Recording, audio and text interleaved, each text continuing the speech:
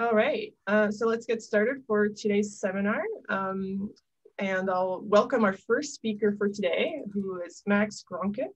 Uh, Max did his PhD at Oslo University, and from there he moved to a postdoc at UCSD.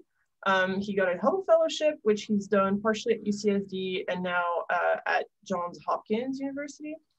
And he'll be moving on to MPA uh, Garching this fall. Uh, so we're really lucky to have him with us today to talk to us about cosmological simulations and specifically uh, cold gas in these simulations. So uh, a reminder to the audience that the meeting is recorded. Um, and yeah, without further ado, uh, Max, please take it away. Um, yeah, thanks a lot, Marianne. So that was um, U- UCSB. Sorry, just for, uh, oh gosh, for correct. So that, that's, that's completely fine. uh, I, I just wanted to, for the record, it's uh, in Santa Barbara. Uh, anyways, all right. So thanks uh, again for the intro, and yeah, thank you for inviting, or Anna for inviting me. Um, and yeah, it's a shame this didn't work out last uh, spring. I would have really liked to come up to Boston, but um, but here we are in a Zoom room. Um, all right, so I'm going to talk about uh, yeah convergence in cosmological simulations, specifically cold gas convergence, and specifically I jump right in in the circumgalactic medium. I I know many of you know about the circumgalactic medium, but uh, just for those who, who might not know so much, um, you know, why should we care about the circumgalactic medium? Um, and I like to often bring two points. Uh, the first one being that we know when, when structures formed, um, you know, gas was streaming into these, these dark matter potentials and in the process converting um, gravitational energy to kinetic one, which was then thermalized through shocks forming these hot gas halos. And, you know, they're still around the more massive galaxies. So, you know, the circumgalactic medium in a way existed before the stellar structures because some of this gas later on just cooled and formed all the stars, planets, everything we, we usually study. Um, and then secondly, you know, the, the circumgalactic medium, everything that gets fed to a galaxy or recycled from galaxy has to pass through the circumgalactic medium. So I think, you know, it's an excellent uh, test bed for probe of feedback mechanisms and, you know, for testing the gas supply for, for future star formation. So in general, I would say the CGM is, is an ideal test bed for our model of galaxy formation and evolution. And now we have a lot of data coming in into uh, about the CGM. So it's, it's actually quite an active field, I would say. Um, now, well, a lot of the data that is coming in is, is absorption line studies um, where bright background source, often a quasar, is used. And you know, you can, you can then detect a bunch of lines and for instance, what is very commonly detected is uh, neutral hydrogen, uh, showing us that inside these hot halos that form, there's actually quite a lot of cold gas. And, and cold throughout this talk, I, I mean 10 to the 4 Kelvin gas, hot uh, 10 to the 6 or hotter, usually the, you know, the virial temperature of these, these halos. And um, these, these observations, they can go further than just detect this amount of cold gas, but we can, we can use them to study uh, the structure of this cold gas. And um, because you, you detect um, several lines, you can do some photoionization modeling, which does not only give you, you know, the column densities, but also the number densities of this cold gas.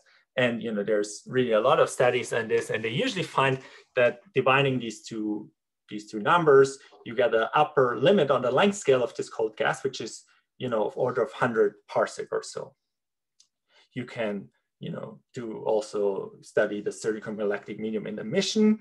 And that's been done around um, quasars. And there are people, um, you know, estimated some clumping factors necessary in order to explain the surface brightness profiles observed.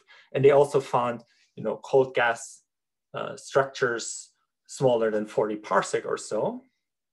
Um, similarly, kinematic information, you know, if you have these these very high resolution absorption line systems, such as here, you know, you can you can say, okay, how many Gaussians do I need in order to fit such a such a spectrum? And the number of these these systems as a function of equivalent width is plotted here in Churchill et al., also suggesting, you know, you have several discrete uh, cold gas structures inside this circumgalactic medium. So overall, you know, the picture I want you to have in mind is that, you know, we have a quite abundant cold gas. So, you know, everywhere uh, observers look, they, they find cold gas in the circumgalactic medium, which means that you have an aerial covering factor, which is quite large of order unity, but, uh, you know, because these, these clumplets are so small, the volume filling fraction is actually quite, quite small. And, you know, just looking at these, these length scales here, uh, being in the circumgalactic medium, which is hundreds of kiloparsecs across, you know, you already see that this is quite challenging for cosmological simulations. And that's, you know, been, been known for, for a while. Um, you know, this is a study by Claude-André Faucher-Giguère, uh, where, you know, he just increased the resolution of his simulation. And that's exactly the same, you know, neutral, cold, uh, neutral hydrogen column density. So again, the cold gas and you can just see visually, you know, there's there's not not not convergence here. Um, recently, what has been done is that you know instead of increasing the overall resolution of your whole simulation, um, people have just increased the resolution inside a certain volume around the galaxy inside the CGM. So here that's a study by Cameron Hummels where he just increased um, the, the resolution around this galaxy to a uniform grade of 500 parsec. And you know, again, the color coding corresponds to the neutral hydrogen column density. And again, you see, you know, there's clearly not a convergent um, uh, properties here.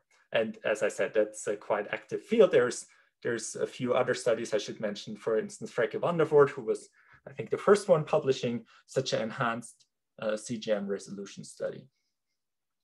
And, you know, I, one, one question which, you know, I want to address in this talk is, you know, what resolution do we need in order to obtain convergence on this cold gas mass here?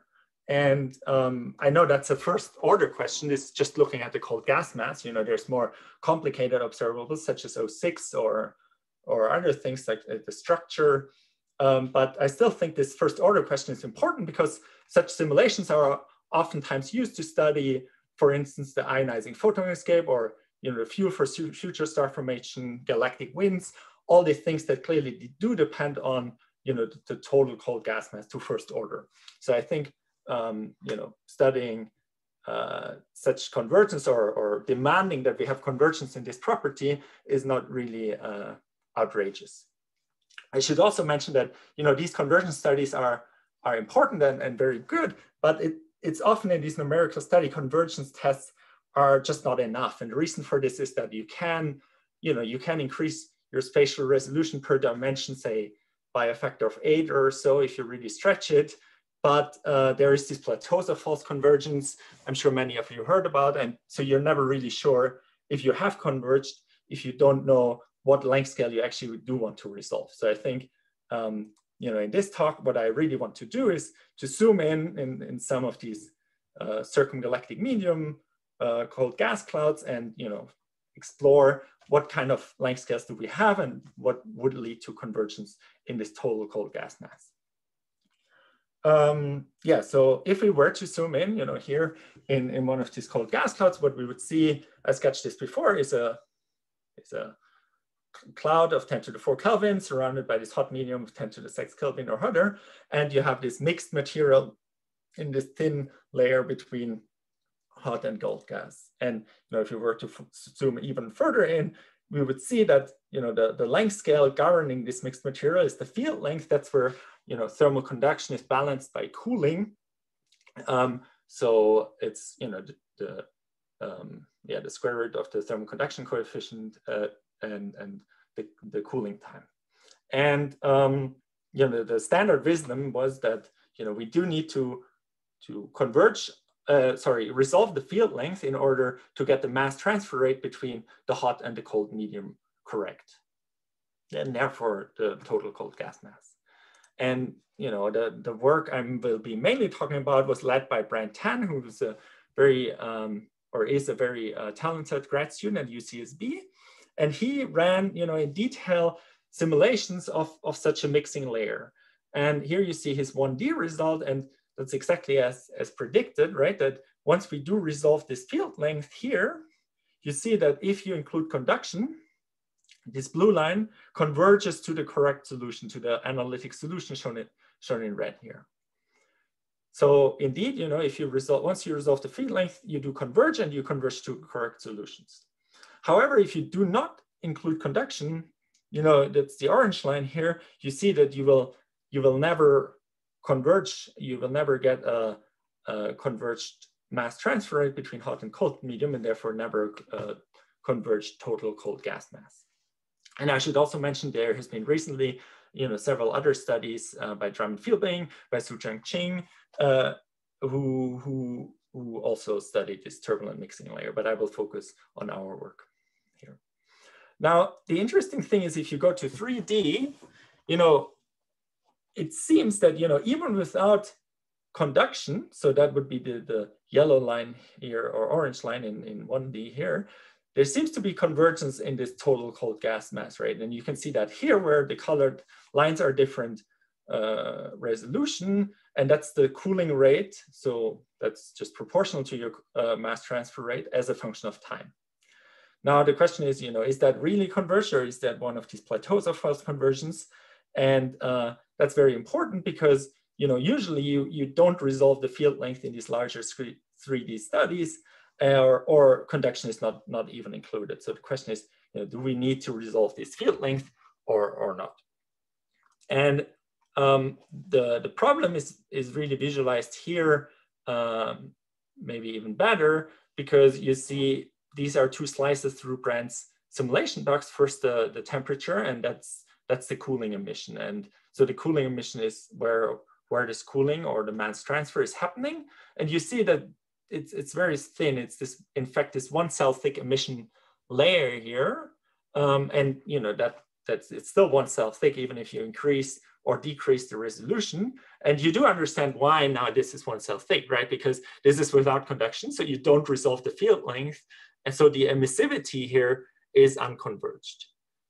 Now, the strange thing is I just told you that the, the mass, the total uh, mass transfer rate seems to be converged, so it's somewhat of a puzzle because you know that means that the, the volume needs to adapt in such a way exactly so that left-hand side here is converged, but the right-hand side here is not. So what's really going on here? And in fact, you know, there's a few more puzzles because if you if you write down the scaling of this mass transfer rate, uh, Brent found that, you know, first of all, to first order, it's given by the cold gas sound speed. And that's maybe a bit puzzling because, you know, if you think about this mass transfer rate here, the hot gas can sustain a much larger mass transfer rate to first order given by the hot gas sound speed. And secondly, you know, the, there is this dependence on the cooling time with a certain uh, power law. And what Brent found there is actually this transition between, you know, uh, one half and one quarter power law as a function of cooling strength. Um, so the question is, why do we have these two regimes? And why does it exactly change from you know, one half power law to, to one quarter? And if you actually look at uh, you know, two of these simulations, one in this, this slow cooling regime, one in a, the fast cooling regime, you also visually see that these, these two regimes are actually quite different. They're not just different in scaling, also visually they're quite different. So here I you know, step through the simulation box and I show you some slices of temperature and, and emissivity. And, uh, you know, you see that in the left in this weak cooling regime, the, there's much more mixed material of 10 to the 5 Kelvin or so, where in the, the strong cooling regime, the morphology is clearly quite different, and you have a much, um, much more multi-phase uh, structure. Now, with all these puzzles, um, we, you know, to, to understand them theoretically, we luckily got help from, uh, for us, a somewhat unexpected direction. And that's, you know, field of turbulent combustion. Because, you know, in that field, what they do is they mix, instead of mixing hot and cold medium and then cooling it, um, what they do is they mix fuel and oxidizer and then they burn it. But very different to, to us, to, to astrophysics, we, they, they have a lot of funding because, you know, turbulent combustions, you, if you want to build a jet engine or a car engine or you know, bombs, you, you, you do want to study it. And, and there's actually a lot of results uh, in the literature which we could be inspired from. And, you know, I, I don't have time to really go into a lot of details here, or probably it's also not the seminar to go into too much technical details, but uh, I just want to mention this one classic paper by Gerhard Damköhler from 1940. Um, Gerhard Damköhler was actually a tragic character in, in Germany at the time. He, he, he published this, this paper where he not only you know, did experiments, he, he studied the burning of bun Bunsen, at Bunsen burners, at different burning rates, and he studied the flame exactly. And um, but so so the great thing here is also that he did experiments, and in this field you can do experiments, which mean you know that's a great way to to do resolution studies, so to speak. Um, but uh, yeah, and then then he Gerhard Damköhler was actually forced by the Nazis to work on the Luftwaffe program, and uh, in, instead of doing that, he, he committed suicide. So that was really his last, uh, last paper. And it's a, it's, um, it's a great one. It's really classic in the field. He, in this paper, you know, he not only actually did experiments, but he also did a lot of theory and uh, tried to really understand what, what sets this burning rate between, um, between fuel, uh, for, sets the burning rate, yeah. And he found that, you know, the important thing is actually not the laminar flame speed, so not, you know, what sets an individual front, but the overall front, and that's the, the turbulent flame speed. And he also noticed that in his Bunsen burner experiments, and you can maybe even see that here, this is, you know, this is a image of a turbulent flame. And just visually, it looks very similar to, you know, what I just showed you of these cooling fronts, right? And he he saw that you know there's actually these two dis different distinct regimes. One where he called well stirred, where the flame front is more or less straight, and one where the the flame front is is corrugated. So um, he called that wrinkled flame front regimes. And later on, he he realized that these two regimes are uh, divided by this dimensional quantity, which is given by the turbulent time divided by the reaction time. And later on, people actually now call this the Damköhler number. Um, now, yeah, again, if you if you think about these two slices I just showed you before, this is really what's what's happening here. Here we have a well stirred um, mixing front, and here it's really much more corrugated. There's this wrinkled flame front. So in this regime, we're uh, in the Damköhler number smaller than unity, and in this regime, we're in the Damköhler number larger than unity. In our setup, you know, the, the um, the reaction time is nothing else than the cooling time, and the turbulent time is given just usually by the length scale divided by your turbulent velocity. So if you compute this Damköhler number of this mixed medium, you know, as, as a, you know, as a function of cooling strengths, you see that in fact, this transition happens really roughly at this uh, Damköhler number of order unity. So, so, you know, that's, that's really great to help understand what's going on even in this in this cooling cooling fronts. Now you can go much much further than that, and I'm sorry if that's a bit technical, but uh, you know now we know that the mass transfer rate is actually given by this turbulent uh, flame speed, and you can you can rewrite that as some with some turbulent uh, diffusion coefficient, which turns out that then it's you know proportional to the reaction time to the minus one half. Now in the well stirred regime, the, you know, everything is stirred, so the gas can just cool freely. So the reaction time is just the cooling time. So you automatically obtain this minus uh, one half dependence here. Um, in the corrugated flame regime, it's a bit more complicated because you can see the flame clearly cannot cool freely. There's some uh, new length scale. And you know what we what we said here is that you know, there's actually what's called, what we call the turbulent field length is where this turbulent diffusion uh, is balanced by cooling. So just very similar to your classical, classical field length. And if you plug, plug this in, you in fact find this minus uh, one quarter um, also found in the simulation. So uh, that's that's really where, where this comes from. And maybe that was too, too technical, but just one thing maybe you want to uh, take away here is that here, that's exactly the definition again of your Damköhler number. And if you go in the literature of of these um, burning fronts, there is actually experimental data also seeing this Damköhler number to the one quarter dependence, which was quite encouraging for us. Um, so, you know, what does that all mean for these initial questions? You know, I told you about the transition regimes and the scalings. Um, now, why, you know, is the mass transfer rate given to first order by the cold gas sound speed and not the, the hot gas sound speed? And that is, you know, if you, you know, the first order is given by this turbulent velocity.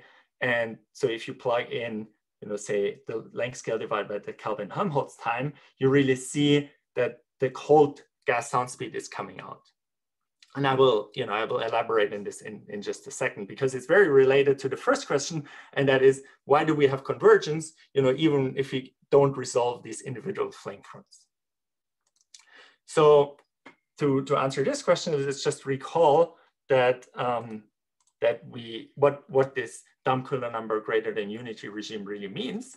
It means that you know all gas that you mix cools. The cooling timescale is the fastest timescale of the system, and um, so the question here really is what sets the mixing? And if you think about this famous um, poem by Lewis Richardson, um, big worlds have little worlds, which feed on their velocity, and little worlds have lesser worlds, and so on to viscosity. This is, this is really what's going on here. We have some big worlds we can mix into little worlds, and, and so on. And if you want to write down the properties of this world, you know, the turnover time of such a world is just the length scale by your turbulent velocity. And the energy of the whirl is the kinetic energy, so length scale times velocity squared. And we know from Kolmogorov that this is proportional to 5 third. So you can write down, you know, what is this, this turnover time? And you see that, you know, the, the turnover time of these big whirls is larger than the turnover time of these smaller, smaller whirls. And that seems trivial, but what this means physically is that, you know, whatever your big whirl can mix, your your little worlds can deal with.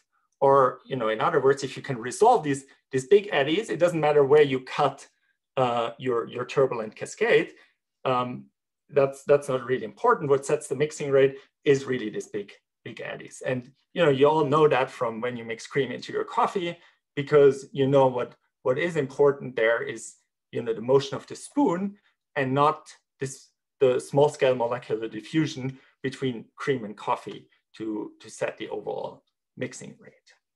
Um, so, you know, to, to come back to this initial question, that, that means that the, the resolving the field length really is not required in order to um, get the mass transfer rate between hot and cold medium correctly.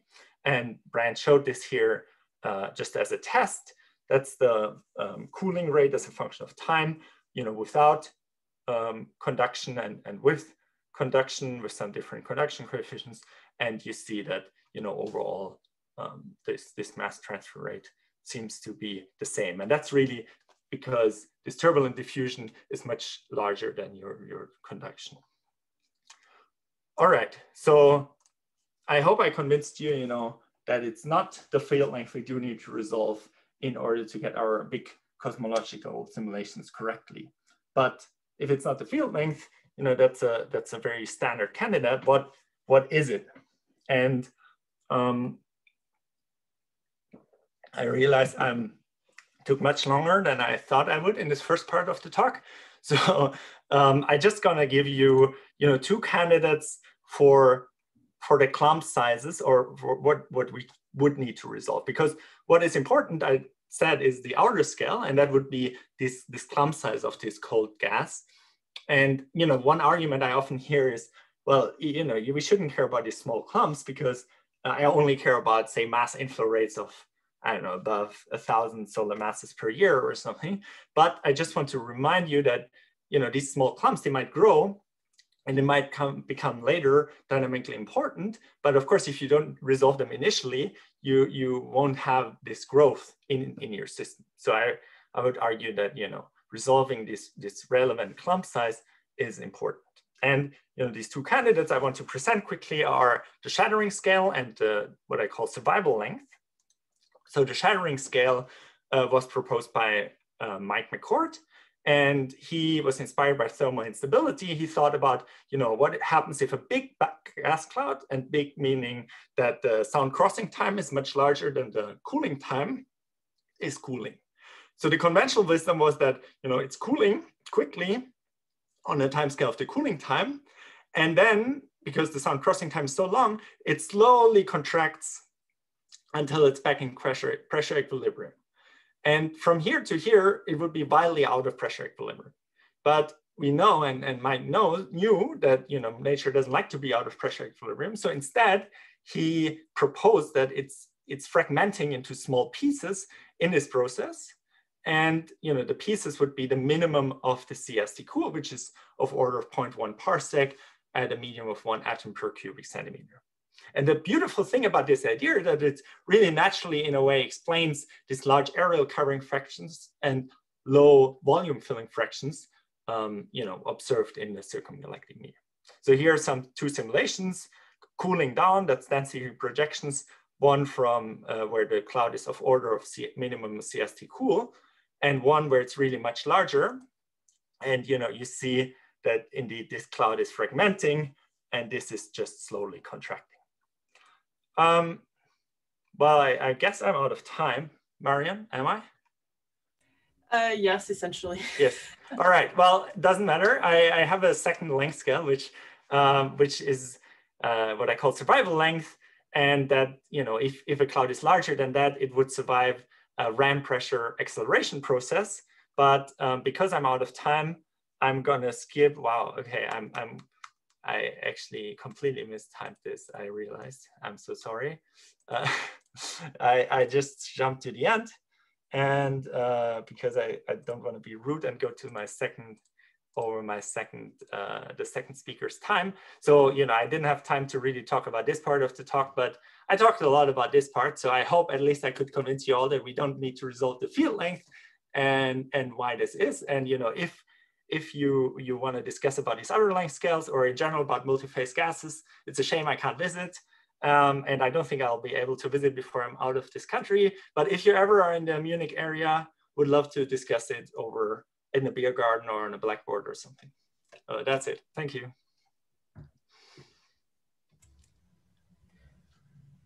Great. Uh, thanks, Max. Sorry. hey, Anna. I apologize. I was a few minutes late. I'm also on California time. And I slept through my 7 a.m. alarm. I thought I hit snooze, no but I guess I no didn't. Problem. I've been able to do 6 a.m. mornings when needed, and I apologize. There was a time personal. Yeah, there was a change of hour this weekend. Makes my oh, you oh god, you're totally right. And normally I learn about that in social situations, and those don't happen now. Um, yeah, great. Thank you for that great talk. I'm going to be in charge of um, uh, helping guiding the questions. So if you have a question, um, please raise your hand in the um, uh, please raise your hand in the uh, chat. And um, and I I will start actually. I'm going to ask the typical question I'm sure you get all the time. Uh, what about magnetic fields? Like, so you'll expect that, that that will. So you get this turbulent mixing, um, which is really important. Um, but once you have magnetic fields, uh, you have uh, you'll definitely suppress uh, um, thermal conduction. But with the mixing that you have, uh, you can you can lose you can have smaller like turbulent mixing, which is probably what you're seeing here. So have you thought about that? Yeah, yeah. The, I mean, so that's that's a good point. So in general, you know, magnetic fields are often invoked to to yes say basically that you you know your your usual thermal conduction is is highly suppressed right and uh, but yeah you're right for this for this turbulent mixing i'm i was discussing here this this has a, a lower effect however you know as we all know this these high Riemann instabilities that lead to the mixing mainly the kelvin helmholtz are also suppressed uh, yeah. through magnetic fields uh, so you know we would expect a lower mass transfer rate there. Now, interestingly, in larger simulations where I tested this, this doesn't seem to be the, the case. I, well, I actually have a slide on that, but um, I don't know if I find it really quick. Uh, and, um, you know, so far it's not been studied in great detail and it's a puzzle why this is. Um, it's somewhat suppressed. It's not maybe as suppressed as much. And our idea is that, you know, what what happens instead is that you increase the surface area of this cold gas, and therefore, you know, your m dot, which is proportional both to your you know, inflow velocity, which would be suppressed through magnetic fields, but also proportional to your surface area of the cold gas mass, is less affected than you would think. Okay, great, thanks. Yeah, I'm, I'm very interested in this in a smaller scale, and we've seen this in simulations of like with star cluster wind feedback and so on, highly dominated by these uh, turbulent motions. Great. Uh, does anyone else have any questions? If so, please raise your hand.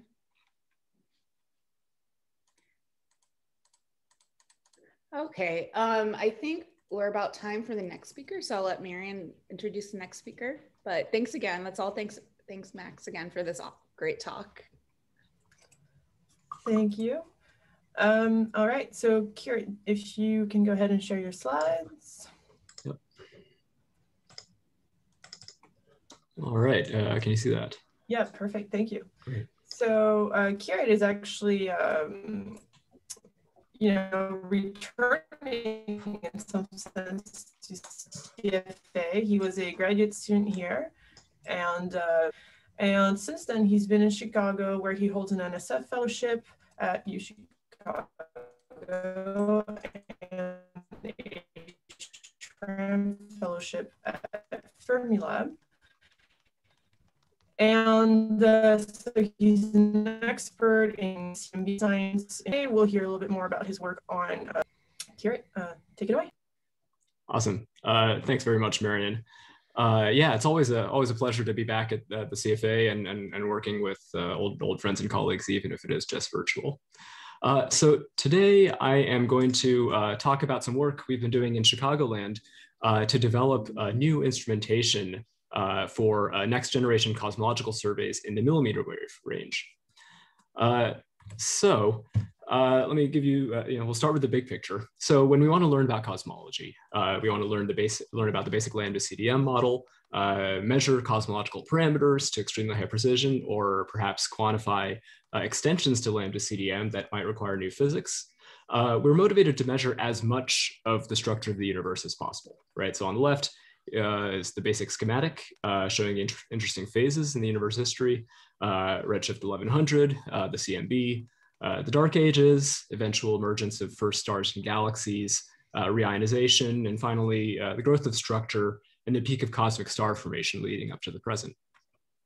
And so you can ask, uh, what are the probes that we use to get a better sense of uh, the large scale structure in these epochs? Uh, so for one thing, of course, we can measure the CMB, look at the initial conditions, small over and under densities, and, and a much lower redshift uh, close to home, we can conduct galaxy surveys, right? We can use the locations of galaxies uh, as tracers uh, of the underlying density field uh, to probe basic cosmology. Uh, but when you look at the, uh, the redshift range that's accessible by galaxy surveys, you'll notice that most, most large scale structure, sorry, most large volume surveys don't really extend far beyond redshift of two to three or so, right? This is simply because galaxies get further away uh, they become fainter and they're harder to pick out against some noise threshold. And so, you know, even though you can use facilities like Hubble and ALMA to pick out individual galaxies, maybe out to redshift 10 or JWST, uh, even, even further, uh, those are very targeted observations that only detect uh, individual bright sources. And so with those measurements, you're never going to get enough objects to really probe the large scale density field at high redshift. So we have this uh, very significant redshift gap uh, in between galaxy surveys uh, and the CMB, uh, for which we don't have uh, uh, really sensitive measurements of large scale structure. I believe that uh, intensity mapping is a new technique that is a really promising new observable to probe this region. Uh, so the idea of intensity mapping is that uh, instead of trying to pick out individual galaxies, you use uh, low angular resolution observations to integrate over those individual, individual emitting objects. And so uh, since most of the cosmological information we are interested in is at uh, fairly large scales, uh, you don't need a, a big dish. And so this uh, ends up being uh, significantly more efficient than the galaxy surveys, and I'll get into that. And so uh, many people have already seen an example of this.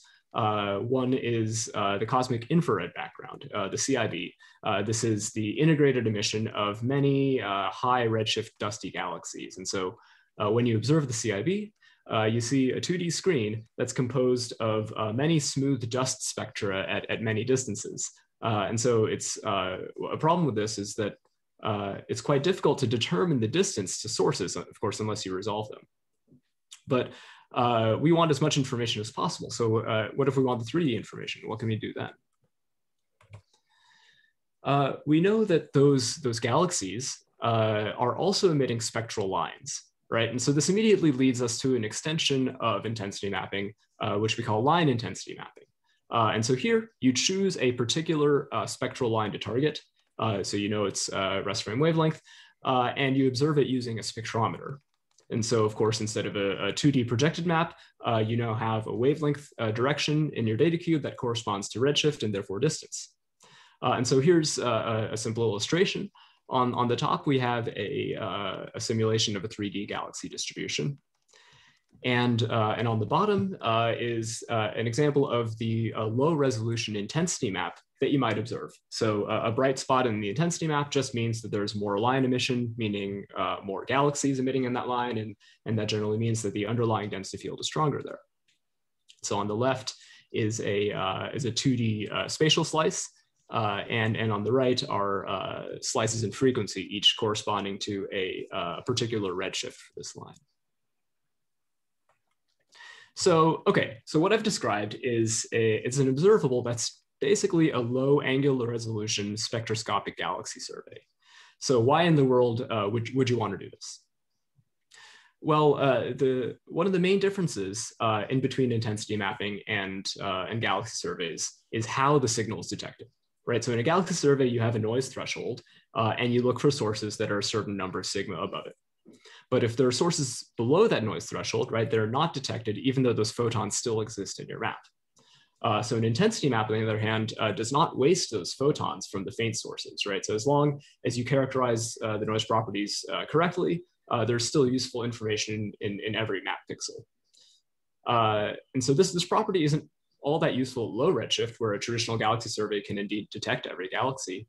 Uh, but as I mentioned earlier, at redshifts above two to three or so, uh, it becomes much harder to detect uh, enough objects to, uh, to probe large scale structures. So this regime, uh, the low signal to noise regime is where I think intensity mapping is going to be extremely useful, extending these large scale structure measurements out to very high redshift.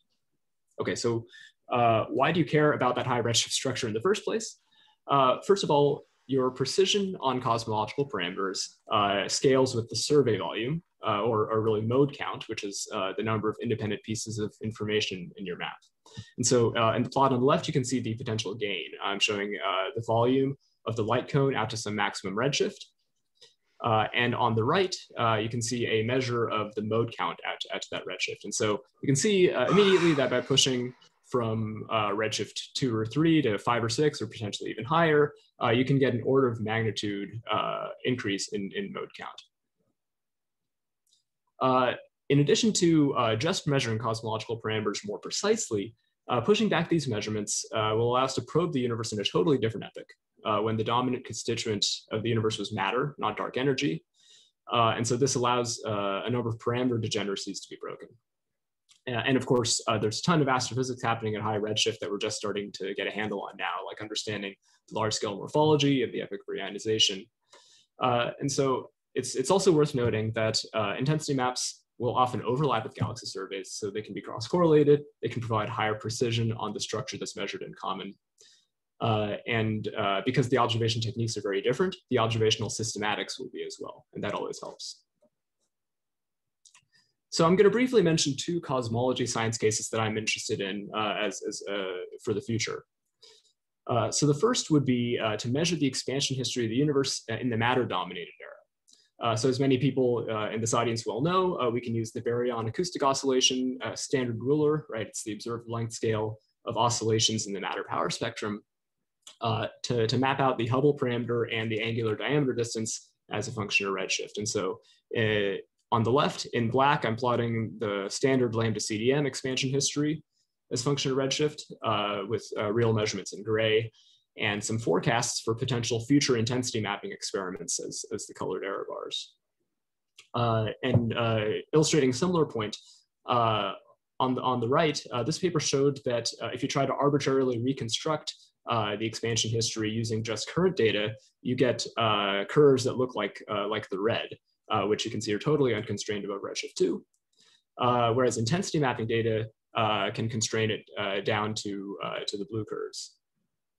Uh, so the motivation for high redshift uh, intensity mapping measurements here would be to test the litany of, uh, of dynamical and early dark energy models that are in the literature, uh, many of which were cooked up to, uh, to explain the current tension in the Hubble constant.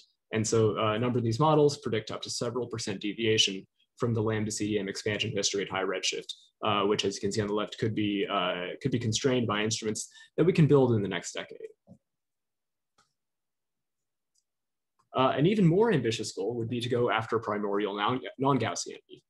Right, so in our, in our current cosmological paradigm, uh, the initial conditions of the universe were set by a process called inflation, uh, which is an exponential expansion in early times uh, that promoted quantum fluctuations to macroscopic scales. And so in the CMB, we've measured those fluctuations to be extremely Gaussian. Uh, but there are some inflationary models, uh, in particular multi-field inflation, that often produce a small amount of non-Gaussianity as well.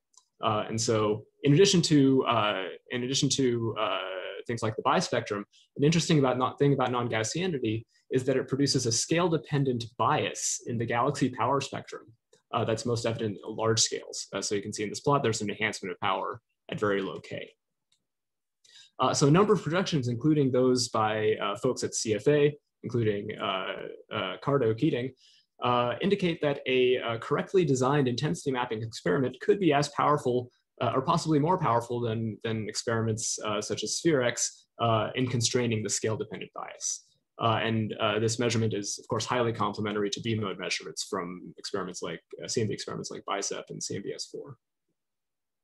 So uh, these are just two basic cosmology science cases. There are many, many more that, that exist, like uh, neutrinos or, uh, or reionization, which I won't talk about because uh, we're limited on time. Uh, okay, so uh, established that we want to measure these high redshifts with, with line intensity mapping. So the next thing is we need to choose a line to target. So as, as people at CFA well know, um, much of the community is working on uh, 21 centimeter uh, neutral hydrogen uh, intensity mapping, uh, which will be uh, especially useful for tracing the neutral intergalactic medium during reionization and, and, seeing large scale dynamics.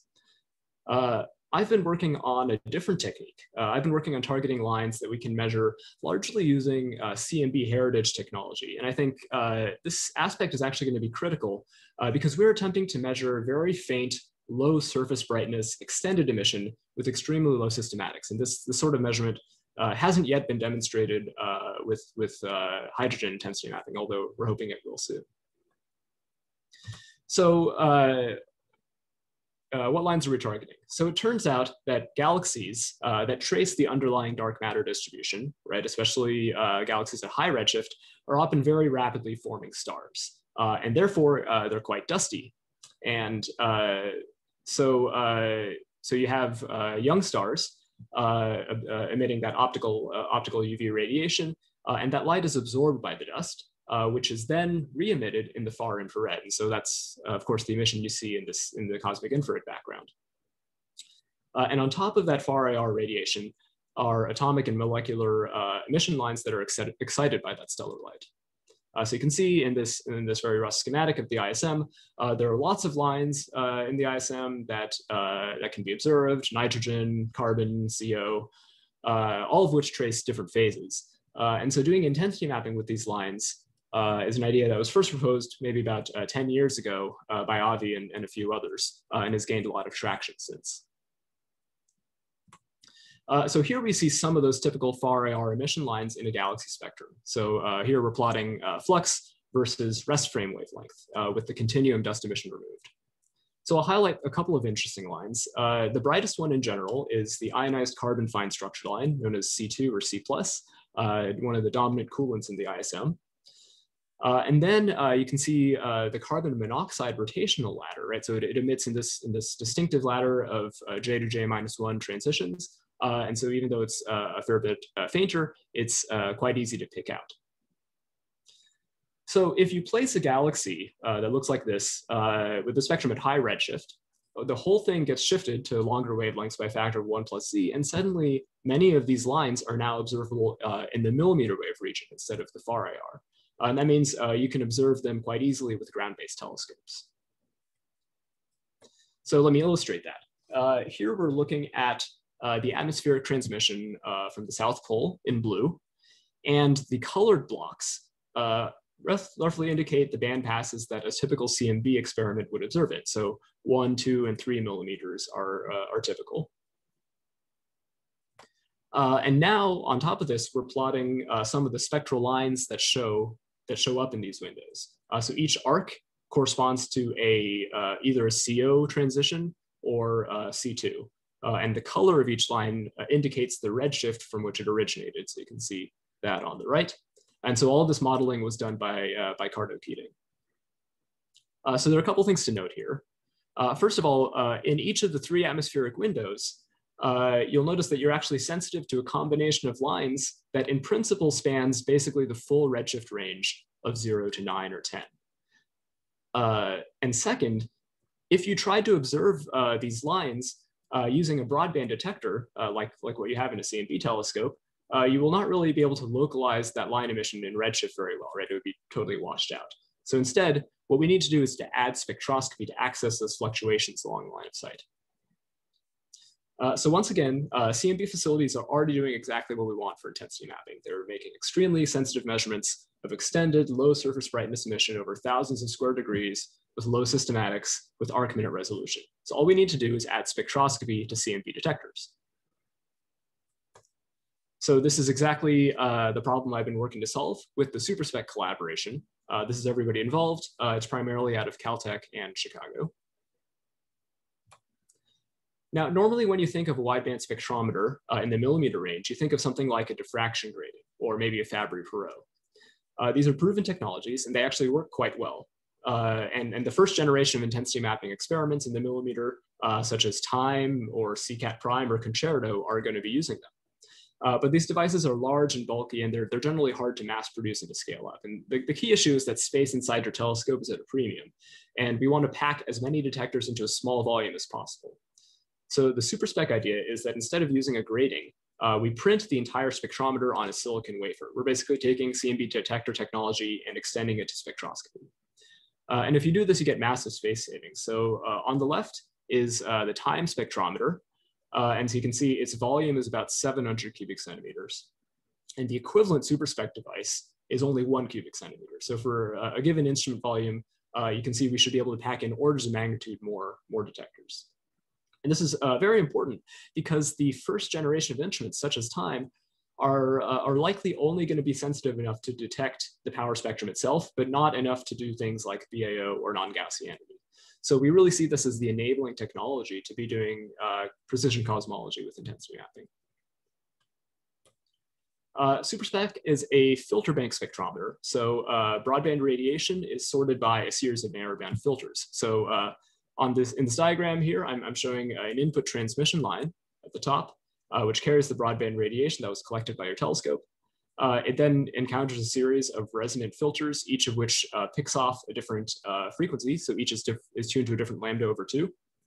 Uh, and that frequency is uh, then sent to a detector. And so you can see simulations of uh, filter responses at a couple of different points in our two to three inch gigahertz band. And so our baseline design has resolving power R of about 300. So that gives you about one gigahertz resolution at 300 gigahertz. And on the bottom is what the chip looks like in practice. So radiation is collected uh, by a lens, uh, sent down this uh, center feed line, and each of those rectangles is a different uh, filter and, uh, and kinetic inductance detector. So we have been uh, fabricating these devices for a few years now, and now they're, they're ready to demonstrate on the sky. So you can read about it in, in this paper where I reviewed the full system performance. the main points are first, that the filter bank itself works. so each, in this plot, uh, each uh, differently colored uh, line, eh, each differently colored patch is the spectrum of a different detector. And so you can say they're, see they're each centered at a different millimeter wave frequency. And for context, in this, in this frequency range, uh, uh, which would normally be covered by, by a single CMB detector, uh, we have 40 spectral channels. And uh, the noise performance is, uh, is good enough for ground-based observations, although we still need to improve them a bit if we want to send into space. So the next step is to demonstrate that these detectors can actually do science. Uh, so earlier I mentioned that we could just replace CMB detectors with spectrometers uh, to do intensity mapping. Uh, so a great candidate for this would be the South Pole Telescope operated by UChicago. Uh, it's a 10 meter dish, has arc minute angular resolution, uh, which is very well matched the scales we're interested in for the intensity mapping science. And uh, of course, it's located in one of the best millimeter wave sites on the planet. but SPT is busy doing its own science. Uh, the current receiver, SPT3G, is making uh, observations of the CMB for at least three more years. Uh, but that uh, doesn't mean we still can't use SPT. Uh, so here is a blowup of the, the receiver cabin. So you can see that it mainly houses the large SPT3G receiver. So that's this large cylinder on the bottom, and there's some redirecting optics. but actually, the receiver cabin has some extra room that can fit an additional instrument. Uh, actually, many folks here know that uh, because this space was used for uh, Event Horizon Telescope observations. So you can see in this diagram uh, how EHT placed uh, their, their VLBI receiver right here and installed a couple of mirrors to pick off the beam that comes from uh, the SPT primary and reflect it into the VLBI cryostat. so we started playing around with, with receiver designs to see if we could fit our own instrument in this space. and the answer is yes. So uh, last year we put in a few proposals to deploy a, a Pathfinder instrument uh, that would demonstrate intensity mapping using on-chip spectrometers. Uh, and just a month ago, we heard that our project SPT Slim, or the uh, this, this SPT Summertime Line Intensity Mapper was funded uh, by Fermilab. So uh, this is really going to be a, a, hit and run demonstration. South Pole, South Pole Station uh, is only open from November to February, so we need to build a small receiver, observe just during the austral summer season without removing the SPT uh, 3G receiver. Uh, and uh, so, so of course we won't interrupt uh, normal, normal CMB observations. Uh, and we're, we're on track to deploy in, in about two years. And of course we are coordinating with Dan Marrone so we don't interfere with, with EHT also. this is a small Chicago-based effort uh, just a handful of uh, UChicago Fermilab and Argonne scientists, uh, but we think we can do this. Uh, and as I said, the primary goal of, of SPT Slim is to demonstrate uh, that intensity mapping can actually be done with these on-chip spectrometers. This is a, a, necessary stepping stone towards larger arrays uh, with the sensitivity to cosmology. And so we designed a focal plane that takes those individual super SuperSpec devices that I showed you earlier and squishes them all together close in to improve sensitivity, shown on the left here. Uh, so that's what the focal plane will look like. And we think this instrument is going to have similar instantaneous sensitivity to uh, contemporary experiments like TIME and CCAT prime. Uh, but of course, we're going to be demonstrating a new technology as well. Uh, and we anticipate that in a few weeks of observing at the pole, uh, we should be able to get a five signal detection of the intensity mapping signal of carbon monoxide uh, between redshifts one and two. so this won't be the super high redshift signal that I was talking about earlier, but it will be enough to show that the instrument is, uh, is suitable for science and it'll tell us a lot about how these detectors work in the field. Uh, and we'll also actually learn something about the, uh, uh the mean molecular gas content uh, at redshift one to two. So it'll do some science as well. Okay, uh, I will end here. So um, I'm, I'm really excited about millimeter, millimeter wave intensity mapping. I think it's an observable that's gonna give us unique access beyond, beyond galaxy surveys. Uh, and there's a lot of cosmology and astrophysics to do at high redshift. Uh, but to do this, we need much more sensitive millimeter wave spectrometers. Uh, and uh, we are now demonstrating that with SuperSpec. And uh, please stay tuned for uh, results from SPT Slim and our first intensity mapping demonstration in the next two years. Thank you. Great. Thank you so much, Kirit. Um, really nice talk. And we have a few minutes left for questions. Um, so if the participants could please use the raise your hand feature, I can help uh, get us going for the Q&A. Great. I actually, I see a question from Max. Go ahead. Uh, yeah, thanks. Very nice talk. I was wondering, so you mentioned um, about, you know, the far infrared, like far infrared being a tracer of star formation being dependent on the dust, right? So I was mentioning, mm-hmm. I was wondering how uh, you know how how true is this at very high redshift right? Uh, do you is that known how biased that uh, and does it depend on the dust composition or mainly on the dust content? Thanks. Right. I, I think the short answer is we don't know. Uh, and the uh, and of course uh, especially very high redshift um, you know the uh, the models for um, for for dust enrichment and and are, are, are sort of all over the place. And moreover, the observations are really only uh, of individual, uh, very, uh, very distinct objects and not, not the mean. So I think, uh, uh, I think the answer is we, we just have to uh, have to make, do the observations and, and, wait and see. We, we know we know that these these lines do exist at very high redshift, right? We know that C C2 exists out to redshift seven or eight. So uh, we're not worried about uh, we're not worried about being able to to do these observations. Uh, the question is just what uh, what what does the mean signal level look like? Thanks. Okay. Any other questions for Kirit?